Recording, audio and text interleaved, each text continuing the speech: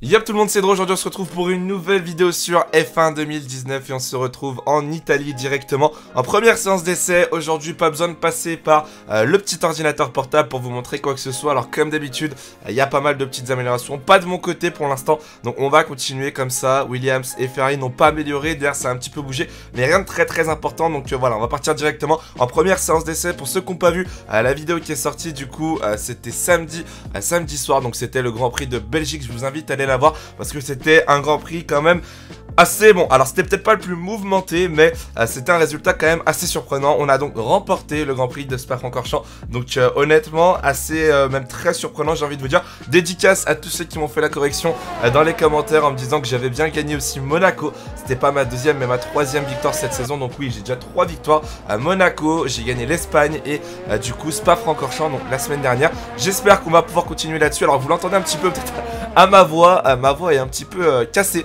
Je suis malade. Vous inquiétez pas, hein, j'ai pas chopé le coronavirus, je sais pas quoi. Euh, c'est juste une petite, euh, je sais pas, une petite toux, une petite, euh, une petite angine, j'en sais rien. Mais dans tous les cas, je vais essayer de faire cette vidéo. J'espère que ça va vite passer parce que j'ai pas mal de vidéos prévues normalement. vous aurez mercredi l'épisode 5, je crois, ou l'épisode 4 sur Assetto Corsa. Je vais essayer peut-être, si j'ai le temps, de sortir une vidéo e-racing ce week-end. Mais voilà, rien d'officiel encore, donc je vais pas vous promettre quoi que ce soit. Mais j'aimerais bien pouvoir sortir toutes ces vidéos assez rapidement.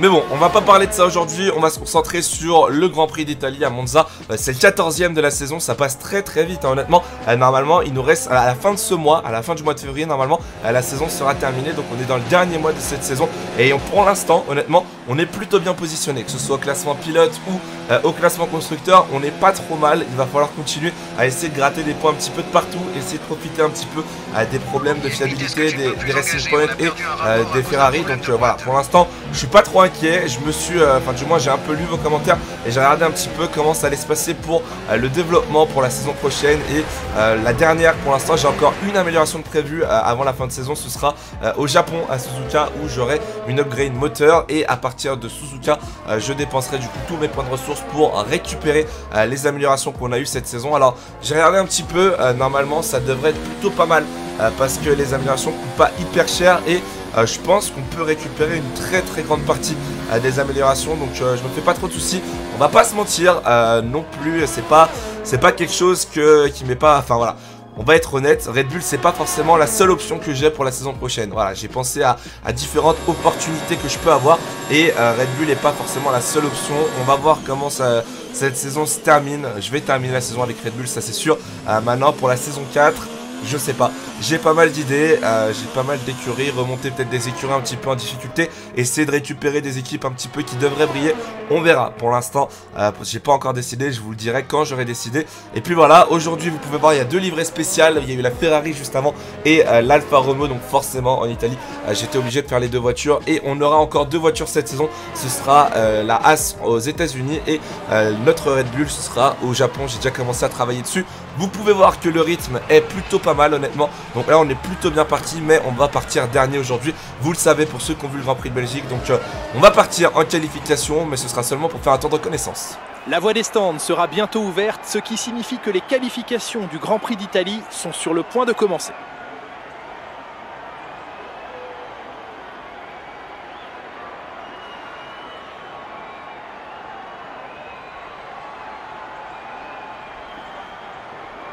Les choses commencent à se corser à l'approche de la séance qualificative. Nous avons vu des temps impressionnants lors des essais. Alors Nicolas Martin, pensez-vous que l'on puisse espérer un niveau de performance équivalent pour ces qualifications? Eh bien, je l'espère, oui. La concurrence est rude ici, et je pense que les chronos seront extrêmement proches. Rappelons que le but des essais libres n'est pas de boucler les meilleurs tours. Ils permettent d'optimiser les réglages de la voiture et de valider les décisions prises. L'erreur est encore permise. Il en sera tout autre lors des qualifications. Là, il faudra signer des tours parfaits sous peine d'être relégué en fond de grille. Croyez-moi, c'est une lourde tâche. On va juste faire un tour euh, dans cette première séance de qualification pour passer en Q2 et voir un petit peu le temps que ça aurait pu donner. Pour l'instant, on n'est pas trop mal. Honnêtement, on a un bon rythme. Hein, vraiment, j'ai enlevé un maximum d'appui euh, sur cette voiture. Et honnêtement, les séances d'essai sont très très bien passées. On va arriver sur la ligne et on a le meilleur temps en 17.2. On a 7 dixièmes d'avance sur Verstappen.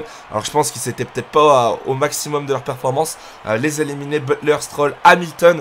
Hamilton à 3 secondes 5, je pense qu'il y a eu un problème. Hein. Je pense qu'il a été gêné ou quelque chose comme ça. Et euh, Raikkonen ainsi que Giovinazzi éliminés. Et on passera pas du coup euh, en Q3. On va se faire éliminer en Q2. Gasly, Hülkenberg, euh, Albon et Lando Norris aussi éliminés. Et du coup, ça permet aux deux Renault une nouvelle fois de passer en Q3. Et donc on va prendre un nouveau bloc moteur. un bloc moteur complet. Alors je pense que honnêtement, c'est l'un des circuits les plus adaptés entre guillemets pour prendre une pénalité. Donc voilà, je pense pas faire une mauvaise décision. On va prendre un nouveau bloc moteur, une nouvelle boîte de vitesse. Normalement, ça devrait pas nous emmener jusqu'à la fin de saison, mais presque. Et on va partir tout de suite pour le Grand Prix d'Italie en dernière position. Bienvenue à vous Nicolas Martin, merci de nous rejoindre pour la course aujourd'hui. Bon, parlons un peu de Julien. Ils ont remporté une belle victoire lors de la dernière course. Sauront-ils renouveler l'exploit ce week-end? Il n'y a aucune garantie dans le monde de la Formule 1, mais leur dernière performance a sans doute renforcé leur confiance en vue de cette course. Et on va revoir du coup la grille de départ et vous allez voir, mais vous le savez de toute façon quand on passe pas en Q3, le top 10 prend les performances du début euh, de la carrière. Du coup c'est une première ligne 100% Ferrari, Vettel devant Leclerc, devant Verstappen 3ème, les deux Racing Point 4ème et 5ème devant euh, les deux Renault et Daniel Fiat 7ème. On retrouve euh, Gasly 10ème, donc pour l'instant les Français ça va pas trop mal et nous on est très très très loin. On va partir 20ème, du coup il y a eu pas mal de pénalités aujourd'hui donc je pense que je suis pas le seul et on part du coup avec 65 places de pénalité. Donc bon, on va voir ce que ça va donner. De toute façon, euh, la stratégie est assez simple. Oui, c'est décevant, je le sais. Euh, c'est pas très grave, la stratégie est assez simple, comme je vous l'ai dit. On va faire un arrêt, on part en pneu tendre. Euh, je pense que c'est la meilleure des choses à faire. on va partir en pneu tendre, essayer de dépasser un maximum de voitures pendant les premiers tours. Et après, on verra en fonction de où on est, à quel tour on va s'arrêter. Mais je pense que voilà, s'arrêter au 11e tour, ça me paraît pas trop mal. Et puis voilà, on va partir pour ce tour de formation. C'est la première fois de cette saison qu'on va partir aussi loin qu'on part dernier, tout simplement. ce sera peut-être pas la dernière parce que euh, il y aura peut-être besoin, je vois pas, enfin, j'arrive pas vraiment à imaginer, mais quand je me dis que en 13 Grands Prix, j'ai quasiment utilisé trois moteurs, ça va être compliqué de faire encore 6 grands prix avec un seul bloc moteur. Donc euh, je pense qu'on va devoir reprendre un bloc moteur. Il euh, va falloir que je choisisse très très intelligemment le circuit. Dites-moi dans les commentaires si vous avez des conseils. Pour l'instant, je pensais soit Mexique, mais le Mexique, c'est vrai que secteur 2, secteur 3 pour dépasser, c'est pas facile. Et il y avait sinon le quota, les États-Unis, du coup, où on pourrait honnêtement bien revenir. Donc euh, je vais réfléchir, je vais réfléchir. Ce qui est sûr, c'est que j'aurai pas de pénalité avant ces deux grands prix. Euh, enfin, j'espère en tout cas. Euh, normalement, à Singapour, on aura un nouveau châssis. Donc là, ça devrait bien marcher aussi. Et puis, forcément, je vais pas prendre une pénalité à Suzuka à la maison. Donc voilà, j'espère que ça va le faire. J'espère que ça va tenir en attendant. Aujourd'hui, on va essayer de limiter les dégâts. On va voir comment on peut faire. On va essayer de remonter au maximum. Honnêtement, à Monza, je vais pas vous mentir et vous dire, ça va être compliqué ou quoi. Normalement, on devrait pouvoir remonter sur au moins le top 6 après, euh, les Racing Point, bon, à mon avis, elles vont très très rapidement bouffer les Ferrari. Et euh, une fois qu'elles seront parties, à moins que les Ferrari se battent entre elles, je vois pas comment, je vois pas vraiment comment euh, je vais pouvoir revenir Mais bon, on verra bien ce que ça va donner On va terminer ce tour de formation. On va s'installer sur la grille à Monza Ça va être compliqué aujourd'hui, je pense, avec ma voix Mais je vais essayer de faire mon mieux. C'est vrai que ça va pas être facile Mais bon, on part 20ème aujourd'hui On part dernier à Monza On va essayer de remonter le plus haut possible et le plus vite possible. Donc il va falloir prendre des risques aujourd'hui On va venir s'installer en dernière position Et on se retrouve dès l'extinction des feux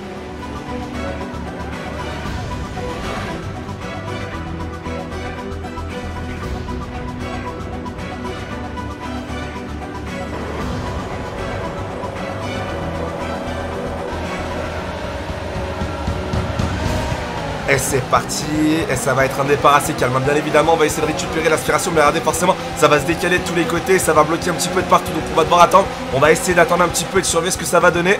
Allez, on va lâcher le pied, et pour l'instant, ça passe, pas de drapeau jaune. Tout le monde a l'air de passer dans le premier virage. Allez, va falloir être patient, et à l'accélération, essayer d'en profiter maintenant. Est-ce qu'on peut un petit peu mieux ressortir? Allez, on va essayer de bénéficier de l'aspiration de Lando Norris. Est-ce qu'on peut se décaler? Et on va passer sur Lewis Hamilton. À l'intérieur, ça va le faire. On va pouvoir se décaler. Et attention, parce que maintenant, on va avoir beaucoup de voitures devant. On va essayer de prendre la ligne extérieure. Attention, parce que là, ça va freiner très très tôt. Et on va passer par l'extérieur. Le triple dépassement. On est passé sur trois voitures. Et attention, parce que Lance il a été gêné. Il a été gêné par Devon Butler. Et à l'aspiration, enfin même pas à l'aspiration, ça va passer. On va récupérer la 15e position. Triple dépassement en freinage. Alors ça, on va le revoir parce que là, tout le monde m'a laissé la place. Allez, maintenant on va essayer de s'attaquer à Devon Butler. C'est un plutôt bon départ pour l'instant, comme d'habitude. on va mettre le mode dépassement. Est-ce que ça va suffire? Allez, ça se décale devant. Devon Butler, il va être gêné. On va essayer de plonger. On va plonger très très loin. Attention, on va plonger à l'intérieur. C'est pas fait. Et on va passer par l'extérieur.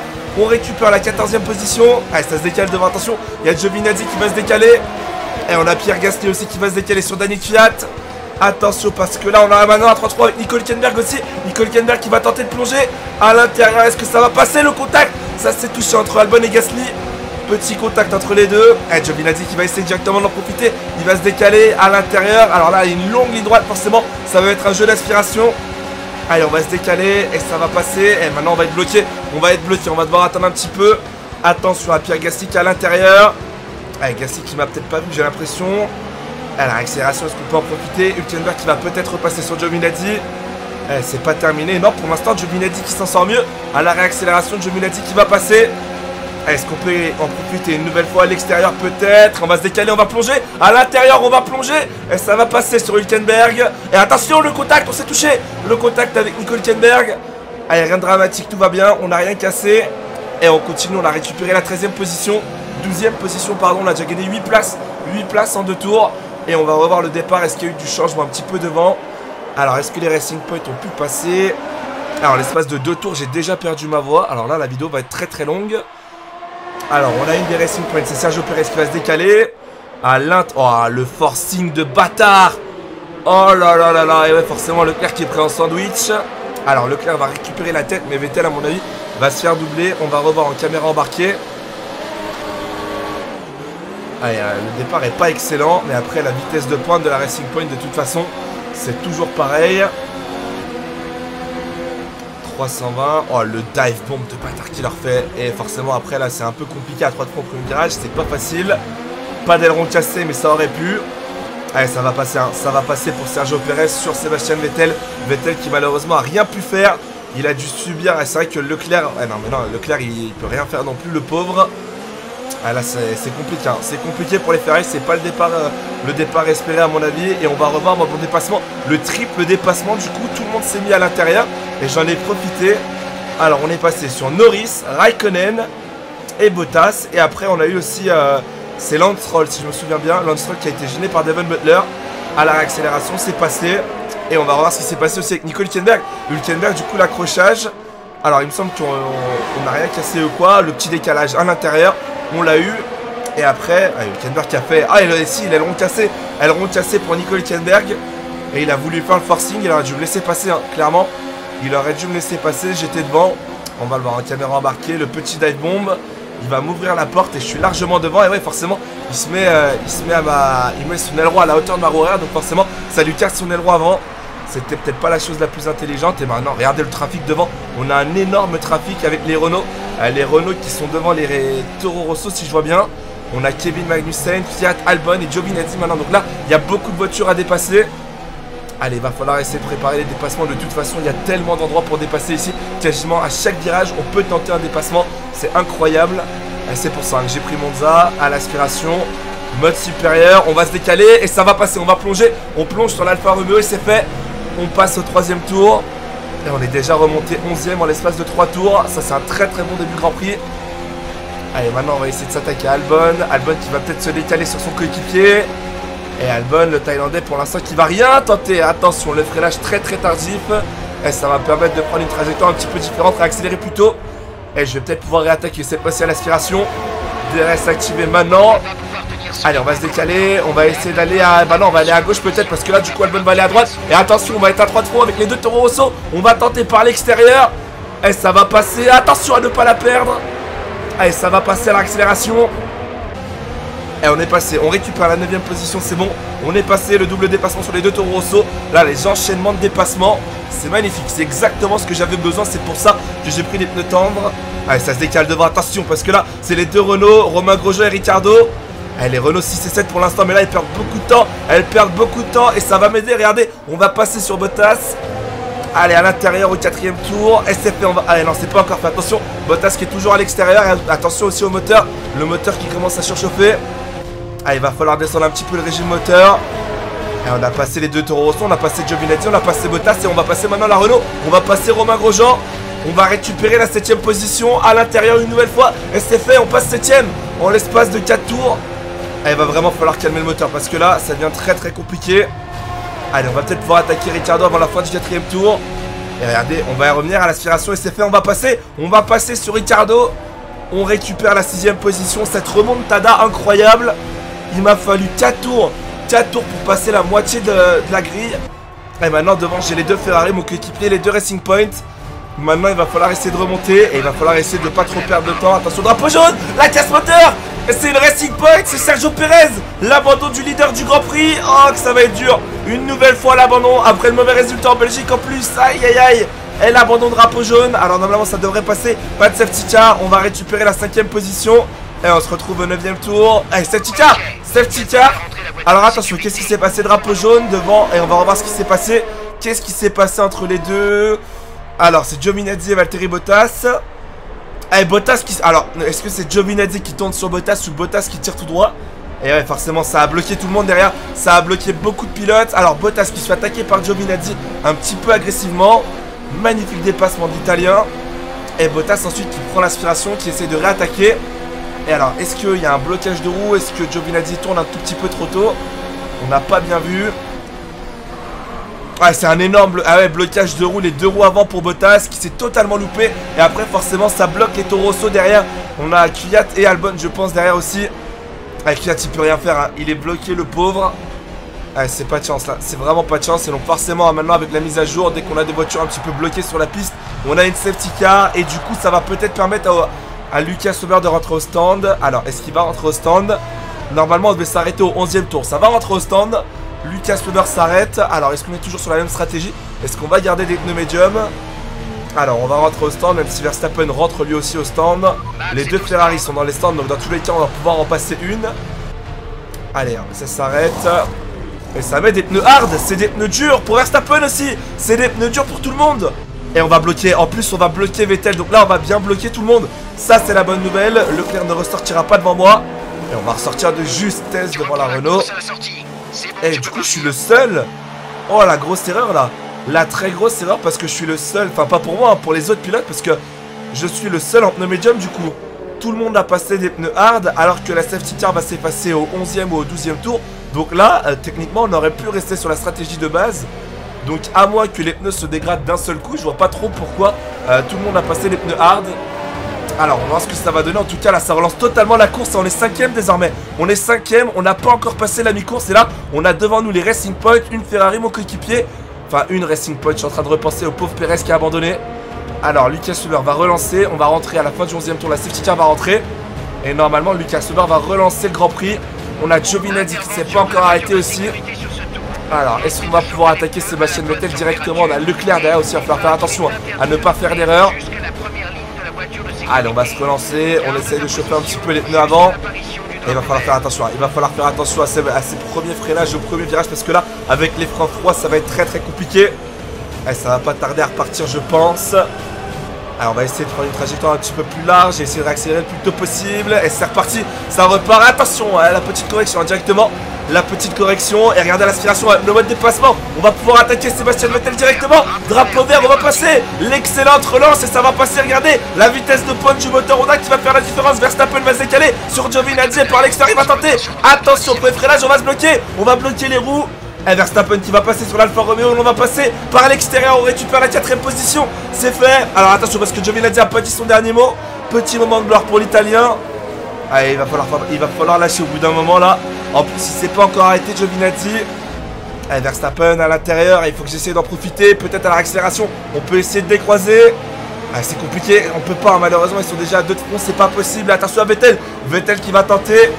Allez, Verstappen va passer, Verstappen va passer. Non, Giovinazzi n'a pas dit son dernier. Oh non, mais il est chiant, t'es vraiment chiant là, Giovinazzi, on perd beaucoup de temps. Lucas Weber est en train de s'envoler. Allez, ça se décale derrière les Renault aussi qui essaient d'attaquer. Allez, Giovinazzi qui va pas lâcher, hein. Giovinazzi va vraiment pas... Allez, on va essayer d'attaquer. Non, ça va être trop juste. Ça va être trop juste. On va pas pouvoir attaquer. Verstappen est passé. Et nous, on devrait pouvoir faire pareil avec Giovinazzi au prochain virage. Allez, normalement, au bout de la ligne, on va pouvoir plonger à l'intérieur. Ça devrait le faire. Il est encore en pneu tendre. Ah, il est à l'agonie, hein. honnêtement. Il est à l'agonie. Il va s'arrêter dans les prochains tours. On va plonger de très très loin. Et ça va passer. On passe troisième, on remonte sur le podium. Il y a 12 tours, on était dernier. Au début de ce Grand Prix, on était P20. Ah, il va rentrer au stand là. Il rentre au stand Giovinazzi. À l'aspiration, pas de DRS activé, seulement le mode dépassement. Est-ce qu'on peut revenir sur Verstappen? Et on va revenir Verstappen qui va se décaler, qui va protéger. On va tenter par l'extérieur sur Verstappen le blocage de roue. Attention Et par l'extérieur, c'est fait On est passé par l'extérieur. attention, Verstappen qui s'est loupé. non, Vettel. Vettel va passer. Ah non, ça a aidé Vettel, du coup mon dépassement, c'était pas... Alors c'était un très beau dépassement certes, mais là, forcément, ça a mis Verstappen un petit peu en difficulté. Eh, Leclerc qui va peut-être être... Ah non, Leclerc qui va tenter par l'extérieur lui aussi. Et là, à mon avis, Verstappen va encore perdre une position. Et non Verstappen qui va de perdre deux positions. Ah, ça c'était pas voulu, ça c'était clairement pas l'objectif. Et maintenant on est deuxième. On va essayer de revenir maintenant sur Lucas Weber au 17ème tour. Il reste encore 10 tours, on revient, DRS activé. On est à moins d'une seconde de Lucas Weber. Est-ce qu'on peut aller chercher à Monza une nouvelle victoire, mais surtout en partant dernier? Est-ce qu'on peut aller chercher une victoire en partant dernier? Alors on a 10 tours, il va falloir attendre parce que là avec des pneus médiums forcément la fin de course va être bien plus difficile Dans les derniers tours ça va être bien plus compliqué Allez, on va essayer de revenir. On va pouvoir... on est très très bien positionné là. On est très très bien placé. Alors le problème, c'est qu'une fois que je l'aurai dépassé, il va me remettre un coup de DRS et il va repasser. Là, on a le meilleur tour en course en plus pour l'instant. Donc là, on est très très bien. On est extrêmement bien. Et ça va passer. On va se décaler par l'extérieur. Alors attention à Lucas Weber parce qu'on commence à le connaître. On va essayer de prendre très très large. Et attention, le contact, on s'est touché. Petit coup de roue. À la réaccélération, on va repasser, mais regardez justement sur la ligne droite directement. À la réaccélération, c'est là où je vous disais que Lucas Weber est très très fort avec sa Racing Point. Eh, ça va pas passer pour l'instant, il va falloir attendre un petit peu. À mon avis, ça va jouer vraiment sur les zones de DRS. C'est là où on va faire la différence. Allez, il va falloir essayer de créer un gap. Il va falloir essayer au moins de casser cette seconde. Parce que là, il a besoin de cette seconde pour rester au contact dans le deuxième secteur. Il va être à l'arrêt normalement. Alors peut-être pas parce que moi c'est vrai que j'ai très très peu d'appui et si euh, Lucas Huber a décidé de mettre un peu plus d'appui que moi ça va être compliqué de résister. Allez DRS activé, hein, c'était sûr, c'était sûr, il va repasser et le but du jeu ça va être ça, ça va être le fameux match de tennis, on va essayer de rester au contact et à chaque fois, à chaque tour on va s'échanger les positions. Il faudra juste savoir dépasser au bon moment, au bon tour, le tour qui fera qu'il ne pourra pas me redépasser après. Et c'est pas forcément le dernier tour, hein. c'est pas forcément le dernier tour. Il faut savoir attaquer au bon moment quand il a bien tapé dans la batterie, il a bien tapé dans l'essence. Et on a fumé, on a fumé les Ferrari derrière. Les Ferrari sont très très loin, clairement pas dans le rythme aujourd'hui. Allez, on va réattaquer. Alors là, je pense que là, la bataille va être très très longue. Je pense qu'on va d'ailleurs faire les 10 prochains tours comme ça, l'aspiration. Et on va se redécaler. Eh, vous vous rendez compte On va se décaler cette fois-ci à l'intérieur. On va essayer de trouver une autre solution. On va essayer peut-être de le tasser un petit peu. Lucas Weber qui freine très très tard. Extrêmement tard. Et attention. Oh non, non, non, là c'est abusé. Là c'est abusé, Lucas Weber. Lucas Weber qui a carrément coupé le virage. Et en plus, il va pouvoir me réattaquer directement après. Non, c'était clairement abusé là, le coupage de virage. Allez, j'essaye de lui laisser un petit peu la porte ouverte. On essaye de se décaler, on protège comme on peut. Et par l'extérieur. Pour l'instant, ça ne passe pas. Mais attention, parce qu'à force de protéger, on va perdre du temps. Et il faut que j'en gagne du temps là. Parce que sinon, les, Ferrari vont revenir. C'est Vettel pour l'instant. Vettel, il est troisième. Il à seulement 5 secondes. Donc là, euh, cette bataille, elle est bien mignonne. Mais si elle continue, elle pourrait nous coûter cher. Ah, Vettel il est en pneu hard en plus, moi je suis en pneu médium, il faut absolument que j'arrive à me séparer de Lucas Weber, sinon ça va être impossible en fin de course de résister. Exactement le même scénario, Lucas Weber qui repasse. on va être un tout petit peu trop court pour résister. Oh attention, attention, je me suis loupé au freinage, attention sur ce vibreur. Et on va réattaquer, on va essayer de reprendre l'aspiration. Allez, 19ème tour, on peut réessayer. Ah, elle, va être, très très longue cette fin de course, je sais pas si je vais vous montrer tous les tours parce que là, je pense qu'on n'en a pas fini. On n'en a clairement pas fini. Allez, une nouvelle fois l'aspiration, le mode chrono et il faudrait que j'essaye d'avoir le mode chrono pendant plus d'un tour. Essayer de faire un tour extrêmement rapide et de casser cette seconde. Et malheureusement, c'est plus facile à dire qu'à faire. Allez, DRS activé. On va retenter par l'extérieur. Lucas Weber qui protège une nouvelle fois. Et une nouvelle fois, Lucas Weber très très tardif sur les freins. Et ça va repasser gentiment. Allez, on récupère la tête du Grand Prix. Et c'est là maintenant, il faut mettre un coup. Il faut essayer de créer un, espace. Et c'est pas possible. C'est pas possible. À la réaccélération une nouvelle fois. Lucas Weber qui revient. Et attention parce que là il est bien positionné. Il va se décaler. Attention à ne pas se faire avoir non plus. Allez, on va essayer de tenir. Oh, je me suis loupé. Je suis allé très très loin. Et oui, forcément, la petite erreur. Attention, la petite erreur de roue dans le gravier. Eh, Lucas Weber qui va passer avant la zone de DRS. Attention, on l'a tenté par l'extérieur. C'est pas passé. Eh, c'était peut-être l'erreur de ne pas faire ça. Parce que là, maintenant, il va falloir revenir. Il va falloir réattaquer. Allez, on va voir la zone de DRS cette fois-ci ici. On l'avait pas, on l'avait pas encore eu jusqu'ici. Et avec l'aspiration, on va être, on va être trop loin, on va être trop loin. Pour l'instant, il va falloir attendre un petit peu. Allez, on va essayer de rester au contact on aura la prochaine zone de DRS. Là, pour l'instant, on est pas mal, on a beaucoup de batterie. Là, on va pouvoir attaquer, on va pouvoir mettre le mode chrono. Allez, on essaye. Pour l'instant, j'ai de l'essence, j'ai de la batterie, j'ai les pneus. Pour l'instant, tout va bien. On gère très très bien ce Grand Prix. Mais regardez, les Ferrari commencent à revenir. Oh, c'était chaud. C'était très très chaud avec Lucas Weber. Allez, on va essayer une quatrième fois pour la quatrième, pour le quatrième tour consécutif. On réattaque Lucas Weber. Il faut faire attention hein, aussi au moteur à ne pas le faire surchauffer. Allez, on va se décaler et on va plonger cette fois-ci à l'intérieur. On va plonger. Est-ce que ça va passer? Lucas Weber qui retarde son freinage. Et on va essayer de lui bloquer au maximum. La porte, c'est fait. On est passé. Magnifique dépassement. On est passé. Elle a l'accélération. Ah, j'ai l'impression qu'il s'est loupé. J'ai l'impression qu'il s'est loupé. Hein, Lucas Weber là, il s'est loupé au freinage. Et on va garder le mode chrono. On va essayer de faire un tour extrêmement rapide pour garder cet avantage. Et là, pour l'instant, Lucas Weber, il est loin. Regardez, dans l'avant-dernier tour, Lucas Weber, il n'est pas revenu. Il n'est pas encore revenu. On va entamer le dernier tour en tête du Grand Prix. Il y a 26 tours, j'étais dernier. Et cette fois-ci, on l'entame en étant en tête du Grand Prix d'Italie. Maintenant, il va falloir tenir. On n'a plus qu'un tour à faire.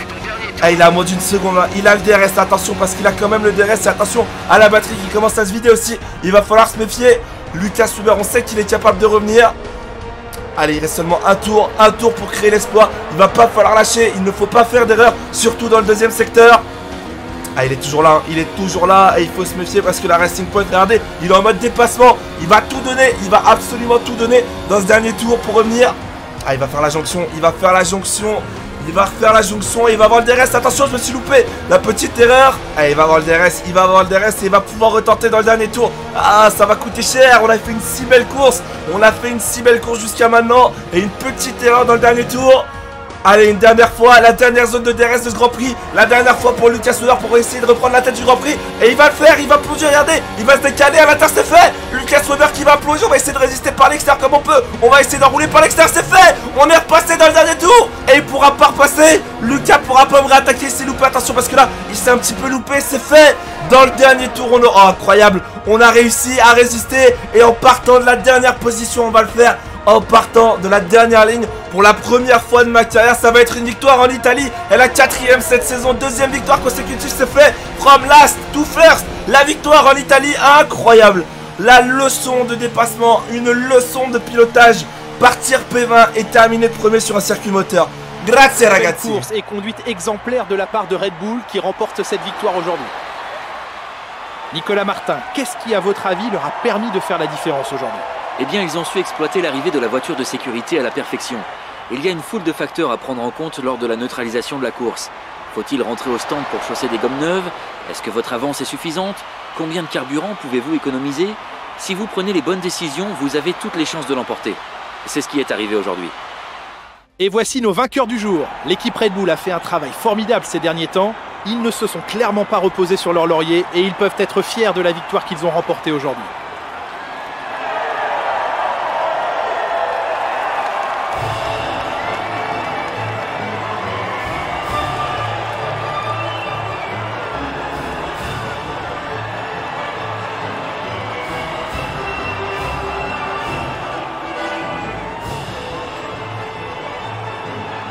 La victoire en partant P20. Alors, je vous revenir tout de suite. Ah, c'est pas réaliste, blablabla. C'est vrai que c'est peut-être pas réaliste, mais on a été extrêmement chanceux euh, sur un l'abandon de Sergio Perez et de deux euh, la safety car, la safety car qui a totalement changé la course parce que euh, tous les pilotes ont passé des pneus hard, là où moi j'ai passé des pneus médiums et ça a fait la différence du coup.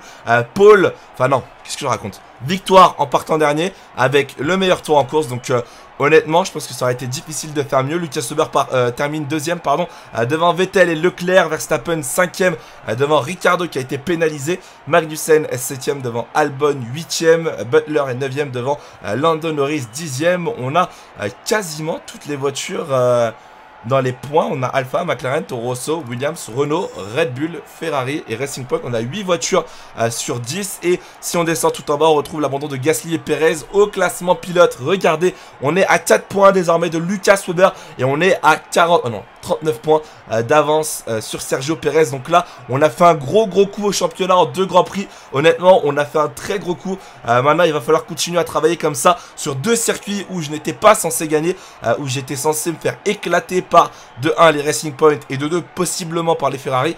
J'ai réussi à remporter le Grand Prix et aujourd'hui, Honnêtement, qu'est-ce que c'était mouvementé? Qu'est-ce que c'était mouvementé pour compenser la Belgique? Euh, Au classement constructeur, on est à 18 points euh, de Racing Point et il y a un petit changement entre euh, Toro Rosso et As. As qui commence vraiment à être en grande difficulté pour marquer des points cette saison. Sinon, derrière, ça ne bouge pas et je pense qu'honnêtement, à partir de maintenant, je suis assuré de terminer au moins deuxième au classement constructeur. Et puis voilà, on va se quitter là-dessus. J'espère que cette vidéo vous aura plu. En tout cas, c'est l'un des grands prix les plus fous que j'ai fait, honnêtement.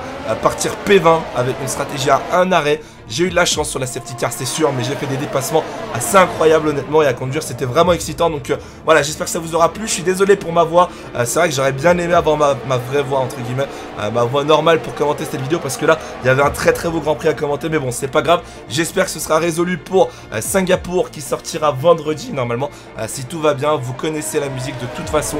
je vous tiens au courant dans l'onglet communauté pour ceux que ça intéresse. Et puis voilà, merci d'avoir regardé une nouvelle fois. En attendant, passez une bonne semaine. Portez-vous bien, c'est le plus important. Ciao, ciao.